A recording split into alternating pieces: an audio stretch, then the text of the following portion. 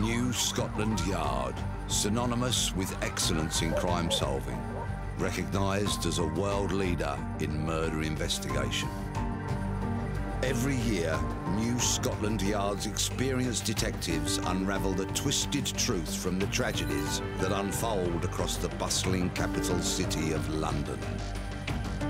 Uncovering evidence that nails the guilty beyond all reasonable doubt takes time, dedication and a forensic attention to detail. This is New Scotland Yard Files. A teenage girl disappears. A vicious predator slips through the net. In the biggest search since the 7-7 bombings, New Scotland Yard uncover the terrifying truth.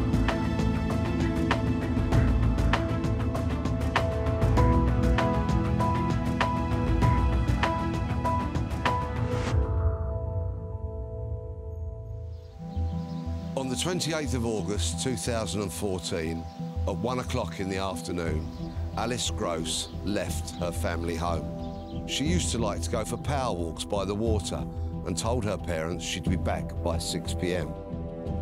But Alice never returned home. At 7 p.m., her worried parents reported her missing and a police search soon began.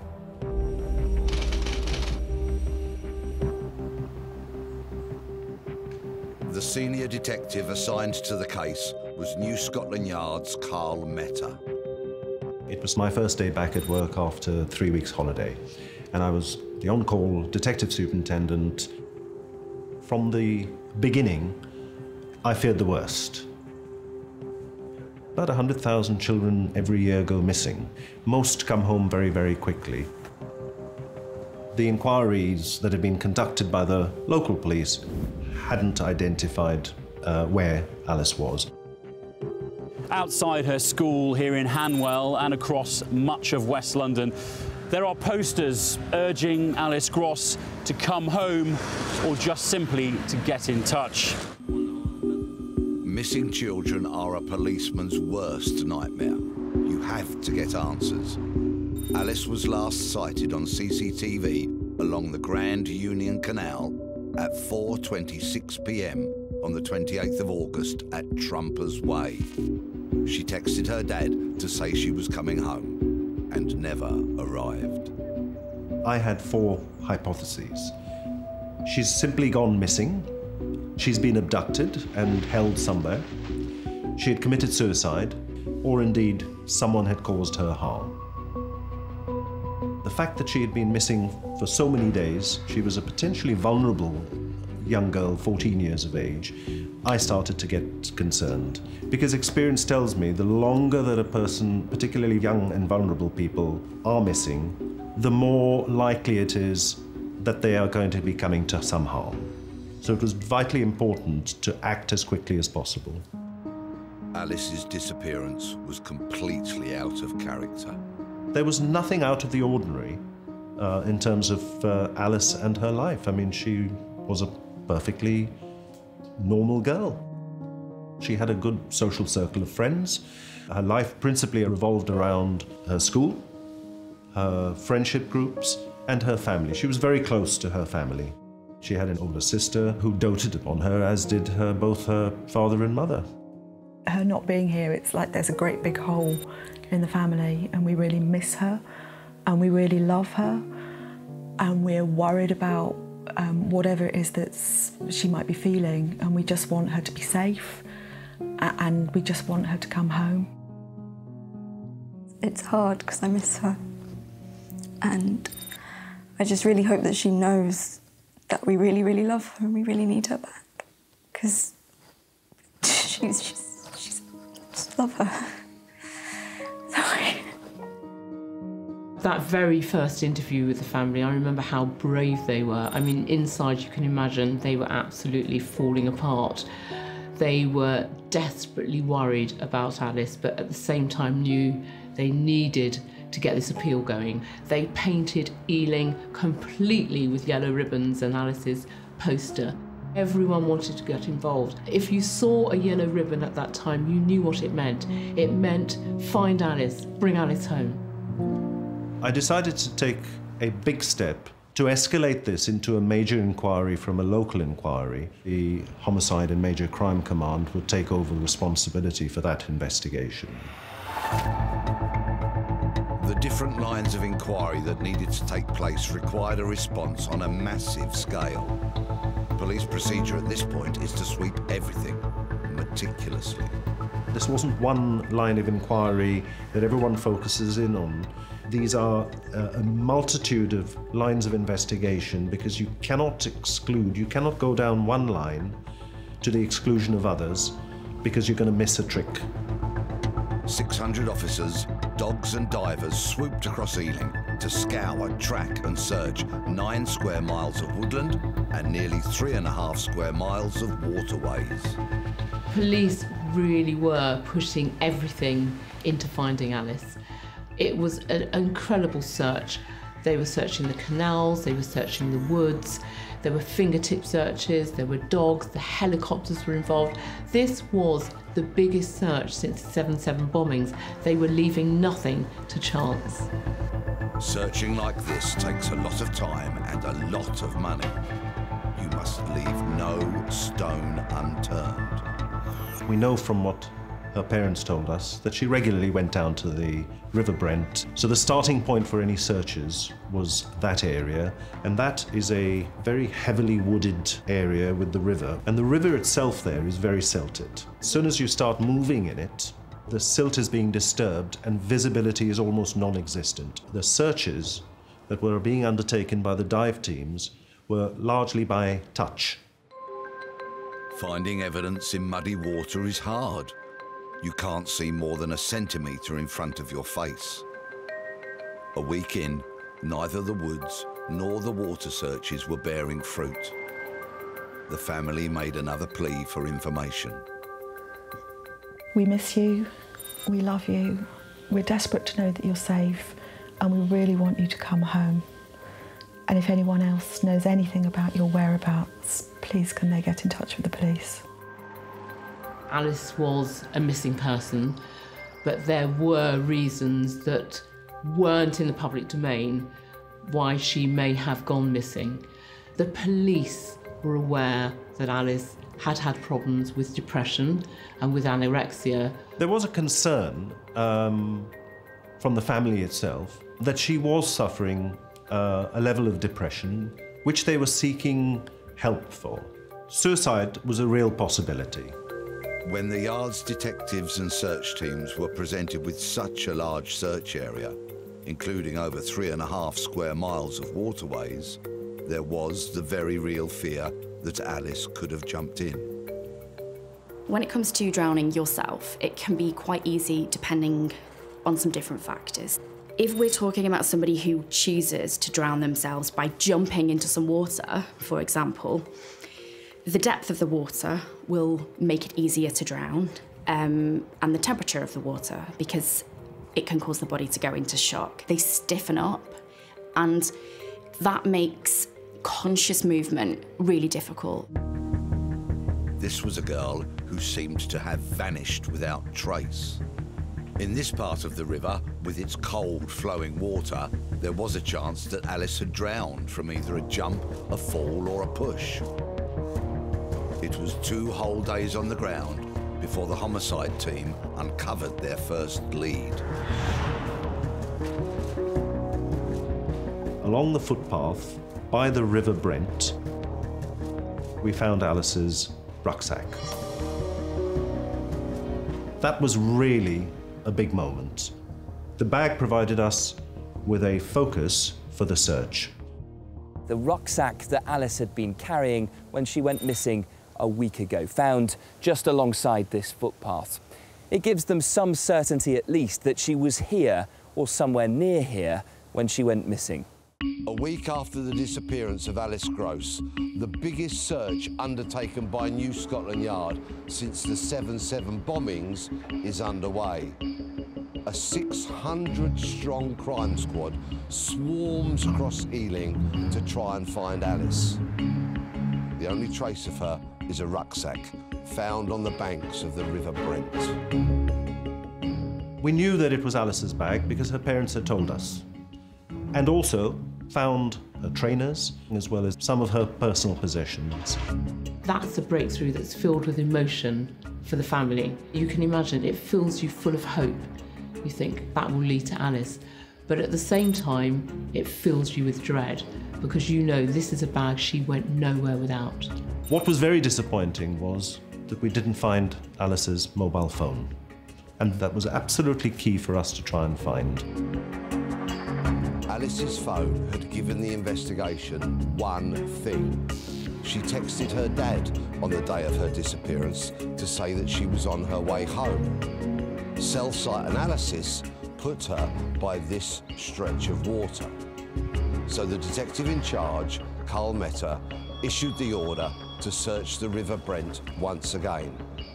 Only this time, they weren't looking for Alice's body, they were going to search for three miles to try and find her phone.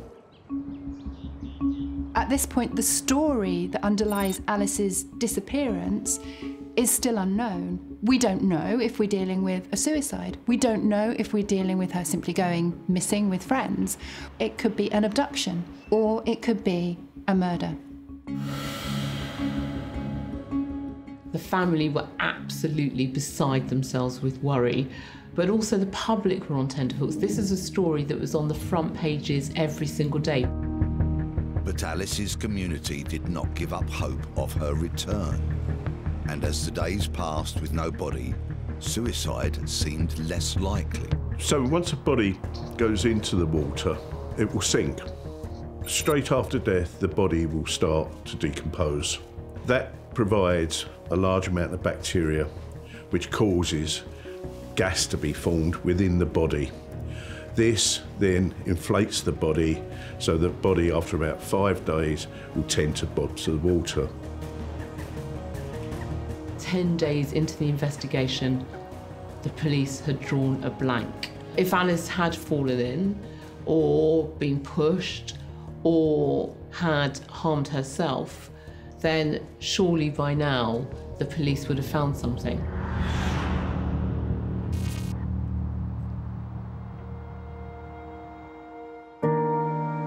For the general public and for Alice's family, no body meant there was hope that Alice was still alive.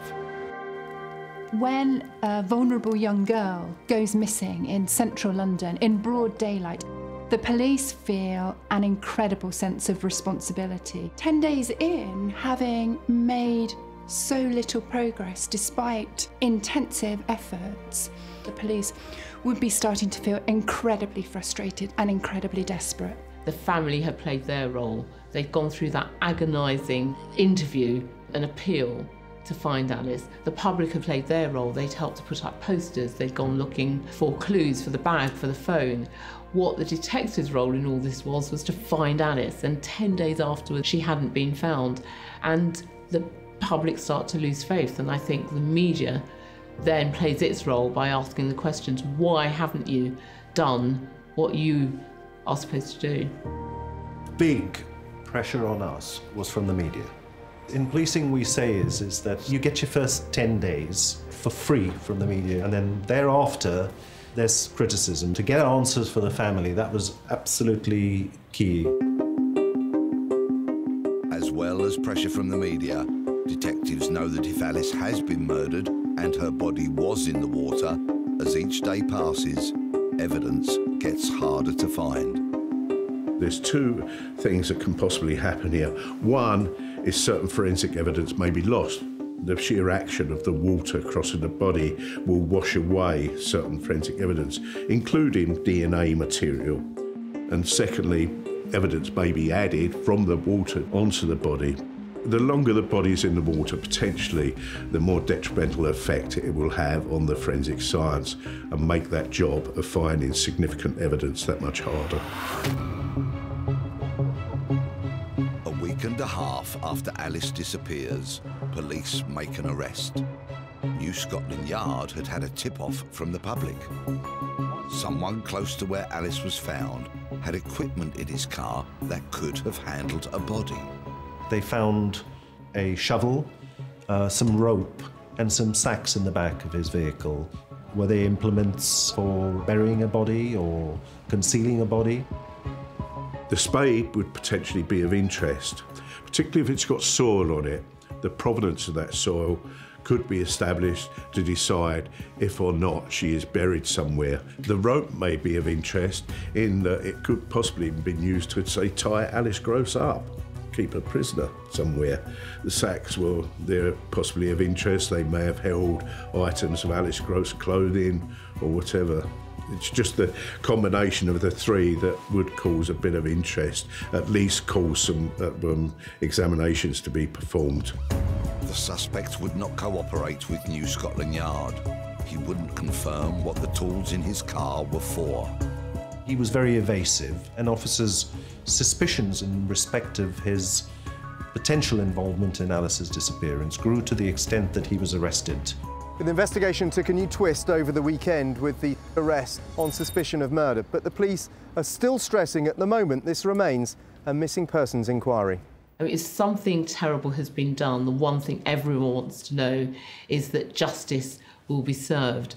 And this arrest gave everyone that feeling that, okay, we are moving forward with this investigation and someone is going to be held to account but no action was to be taken against the suspect police had in custody.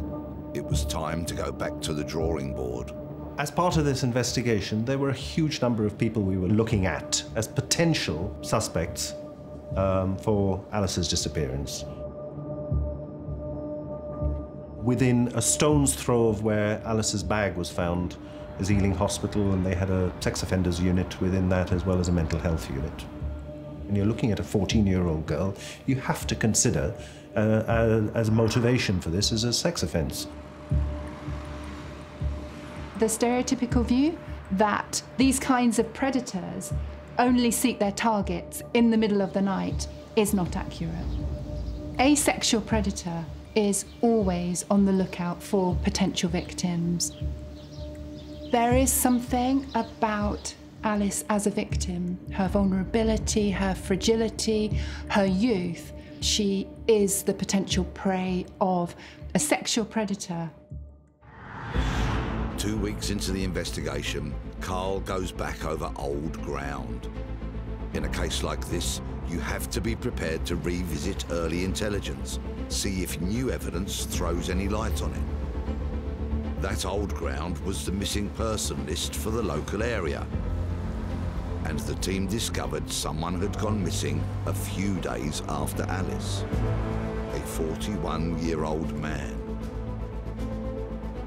Arnis Zalkalns was reported missing to the police by his partner on the 4th of September 2014. He had gone to work that morning but had not returned home. A young 14-year-old girl goes missing there's a large-scale police investigation, and suddenly this 41-year-old goes missing. Arnis Zalkalns disappeared a week after Alice was reported missing. Police were now able to picture match him to canal side footage. He was on the towpath the same day that Alice was last seen. We identified CCTV of Alice Gross walking across a bridge at Brentford Lock. And 15 minutes behind her travelling in the same direction, we identified Arnis Zalkalns on a pedal cycle returning home from work. That was a significant moment. Given he was on his bicycle, she was walking, the chances are that they were going to encounter each other. So the police now have another missing persons case which may or may not be connected. What is suspicious from a police perspective is that Zalkalns goes missing after 600 officers have been pounding the beat searching for any trace of Alice. It appears that he may have encountered her that day. And that is what the senior detective is thinking about. His gut is telling him there must be a connection. The camera which captured that CCTV footage is here at Brentford Lock. it would only have taken a few minutes before the builder caught up with the schoolgirl further down this towpath. The police now had a missing teenage girl and a missing man with no obvious connection, other than they were both on the towpath that day, and he was likely to have passed her on his bike. Had nothing more to go on until Arnis Zalkalns was identified on different CCTV footage from the same day. He was leaving the towpath, but police noticed something odd about the time he'd taken to cycle from when he was caught on camera at Brentford Lock.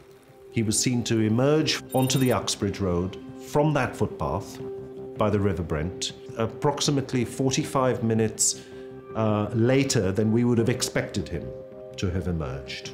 That was very suspicious. Different CCTV in a shop showed Zalkalns with rolled up trousers. Was this for cycling, or could there be a more sinister reason, like avoiding water or mud? At 9:30 p.m. that night, Zalkalns was on CCTV again, joining the towpath from the Uxbridge Road. When he re-emerges about an hour later, he is wearing different clothing to when he went in. He returned the following morning uh, on his way to work.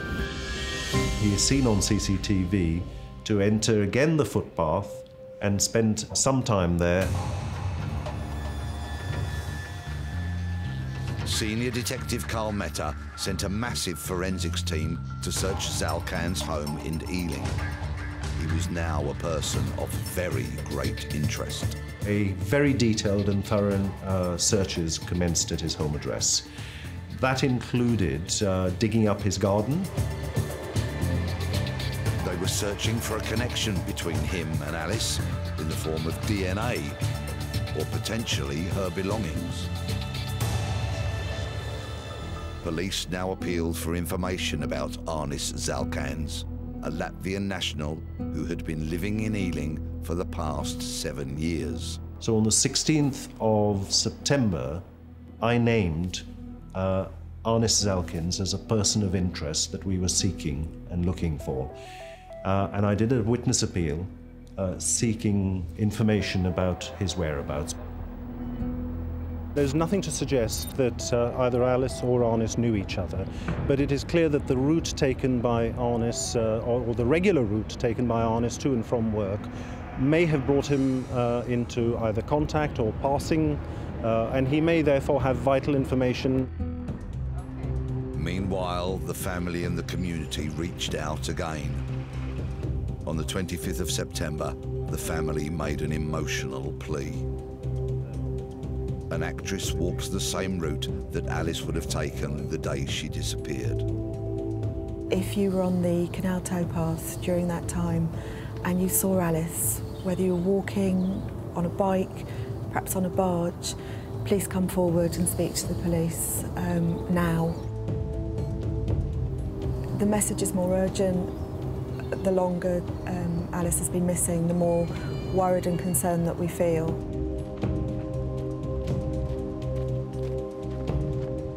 Today is four weeks since Alice's disappearance.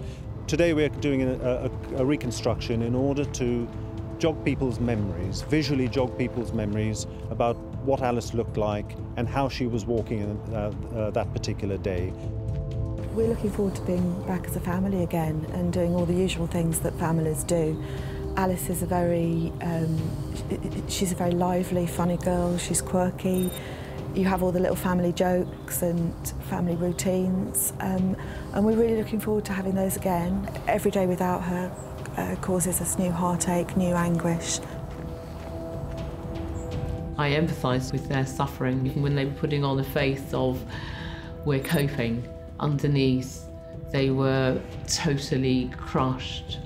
Such a hole in the family, and every day I pass her door bedroom door and I expect her to be in there and she's not there. So, you know, Alice, you really need to come home. And whoever you're with, um, she needs to be home. This is the place that she needs to be. She needs to be looked after. uh, and that's the right place for her.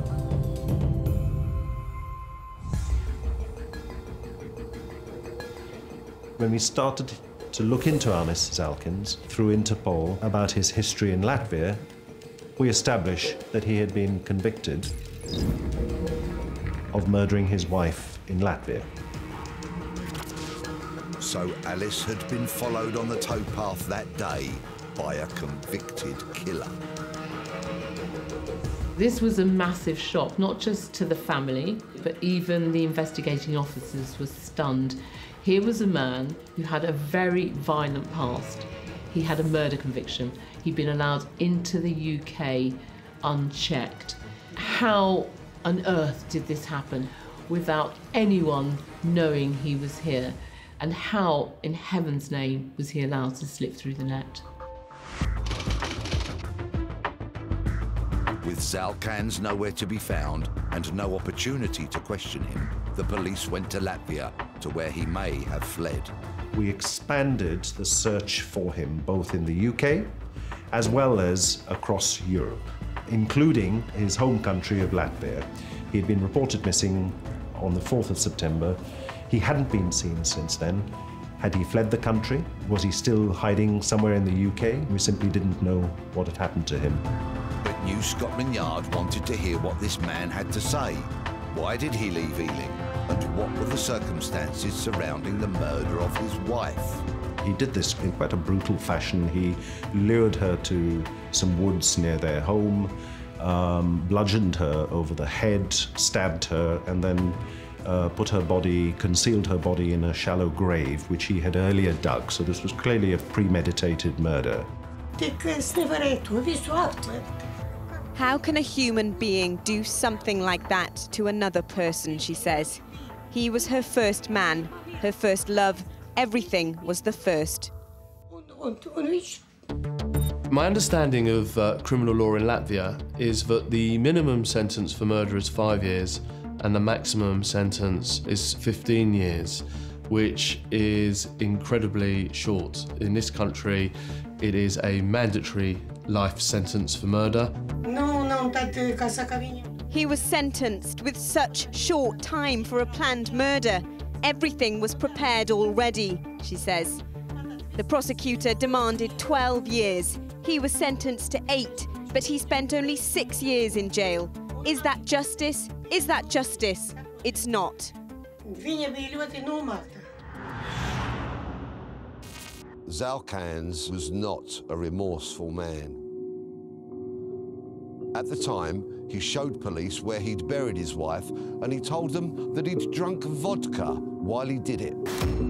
When you look at the way in which he murdered his wife, um, the digging of the grave in advance is an eerie detail there. It's a detail that really distinguishes that offence from most other spousal murders. The events in Latvia unleashed an uncontrolled predator, disdainful, aggressive, brutal component of his personality. This is an absolutely pivotal turning point in Arnis's story because from that point on, this hidden part of his identity can no longer be denied. A troubling aspect of this case was the lack of an obvious motive. Even if Zalkalns had become a monster, why Alice? Physical resemblance between the two was a possibility. Zalkalns' ex-wife and Alice were both similar in appearance. For senior detective Carl Mehta, Zalkalns was now the prime suspect because of his violent past and suspicious activity at the time of Alice's disappearance. I believe that Arnis Zalkalns was making efforts to conceal Alice's body. Scotland Yard were now five weeks into the search for Alice. Divers had been doing slow, detailed searches for a mobile phone, and then they found something strange. The officers came across a pile of logs. Buried within the silt of the river was a bicycle wheel attached to black bin liners. When that was recovered, we found Alice's body. The details of how Alice was concealed couldn't be any worse. She was wrapped in a bin bag that was attached to the wheel of a bicycle. Then that was weighed down with bricks, embedded into the side of the river, and then logs used to keep it in place. I mean, everything possible had been done to conceal that body. The police have confirmed the body they found is that of 14 year old Alice Gross. A murder hunt has been launched. A family and the community that supported them have been left devastated. The cause of death in this case was asphyxiation, but we would call this mechanical asphyxiation. So asphyxia really occurs when the brain is deprived of oxygen. Mechanical asphyxiation is anything that restricts the chest and stops a person being able to breathe. Um, a boa constrictor, for example, kills by mechanical asphyxiation. The pathologist said is effect the heavy weight uh, of some person laying on Alice's body. And bear in mind she was 40 kilograms for just over six stone in weight. She was a slight individual. Alice resembles physically Arnis's wife. What we see when this kind of switch is thrown in the head of, of some of, of an attacker's narrative is that they start to see all women as potential victims, that they, but they start to see them in a very objectified way. Zalkalns was the prime suspect, but police did not have enough evidence to convict him, and they couldn't even find him. This is now a murder investigation, and I need the public's help to find out whoever is responsible. I would urge anyone who may know something to come forward. Even if you have not yet spoken out, it is not too late to tell us what you know. Alice Gross had been found bound and buried at the bottom of the River Brent. The police were now on a manhunt for a cold-blooded killer who'd wrapped her in bin bags, weighed her down with a bicycle wheel and covered her body in logs so that she sank into the silt. The prime suspect, Arnis Zalkalns. But he was nowhere to be found after being reported missing a month prior to the discovery of Alice's body. It's clear that uh, the cause of death was suffocation from a heavy object on top of Alice. Now, it's possible uh, that her death occurred during the sexual attack uh, because Arnis was completely oblivious to her. His focus was on the sexual attack and not on directly murdering her. But no matter how compelling, the investigation needed proof. Would a cunning killer like Zalkalns make the kind of mistakes that would secure a conviction? To assume that we're dealing with a super intelligent, psychopathic mentality here is, is not entirely accurate.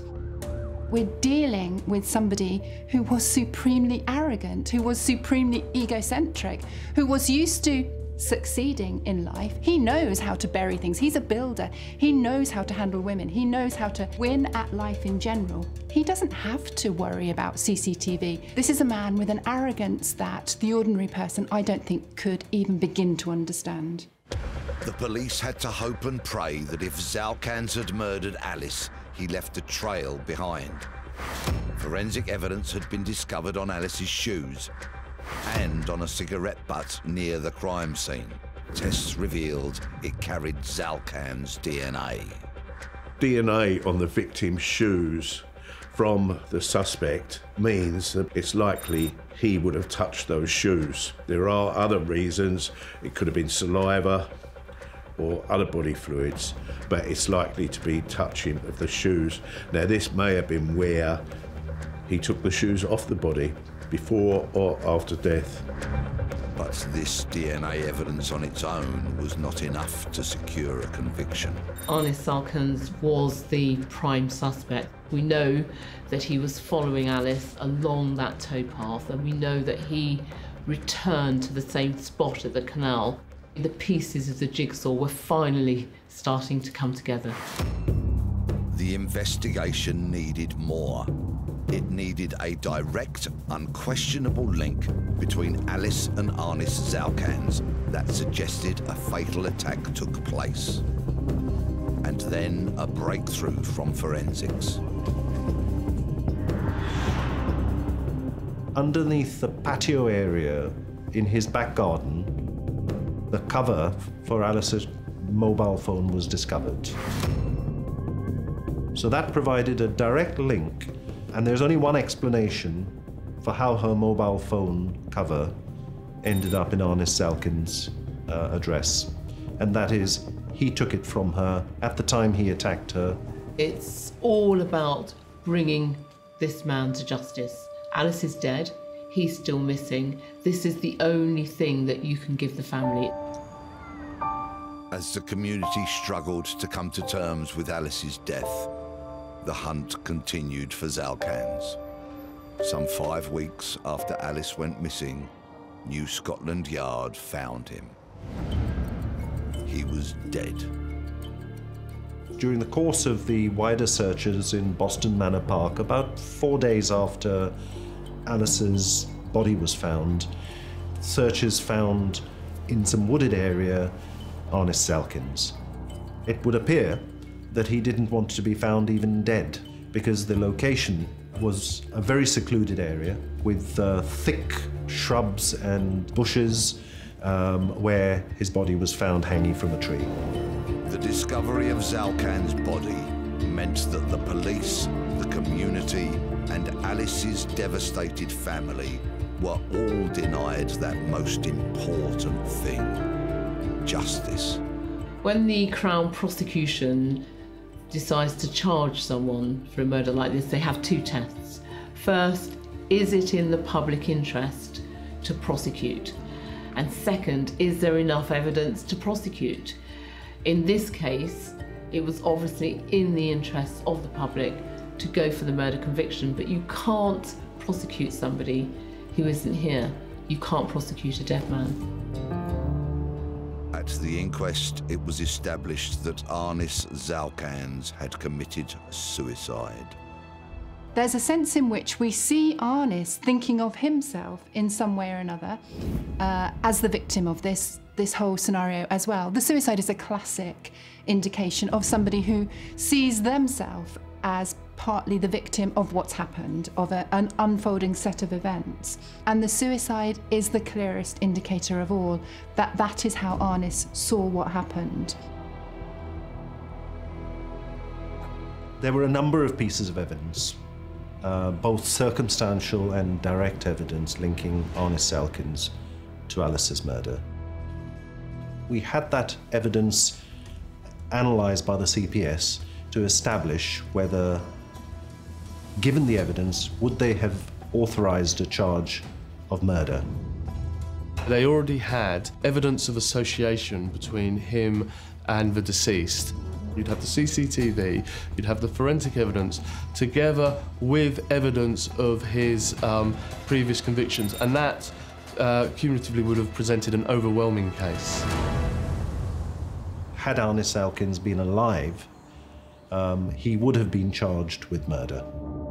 We'll never know why Zalkalns murdered Alice Gross, but having committed one murder, that of his wife, he'd already broken the normal human barriers. I think we're dealing with somebody who became increasingly um, egocentric, uh, uh, non empathetic, absorbed in his own unfolding storyline. From the moment that Arnis killed his wife, he was a lethally dangerous man. The horrific tragedy of Alice was one that was waiting to happen. And had Arnis not committed suicide, uh, this narrative would have simply escalated further and we would have seen more victims. I'm certain of that. The wicked crime that was the murder of Alice Gross should never have happened. A free man seven years after killing his wife, Zalkalns started a new life in Ealing, West London. On his way to work, he had a chance encounter with Alice. There, by the River Brent, he assaulted and suffocated her. And over the next 30 hours, returned to the scene to bury her in the silt. With the homicide squad on a highly publicised hunt for Zalkalns, he realised there was no way out. So he did the cowardly thing and hung himself. Murder detectives had been looking for a man who was already dead. I think one of the tragedies of this particular case is that uh, Alice's family never saw justice being delivered.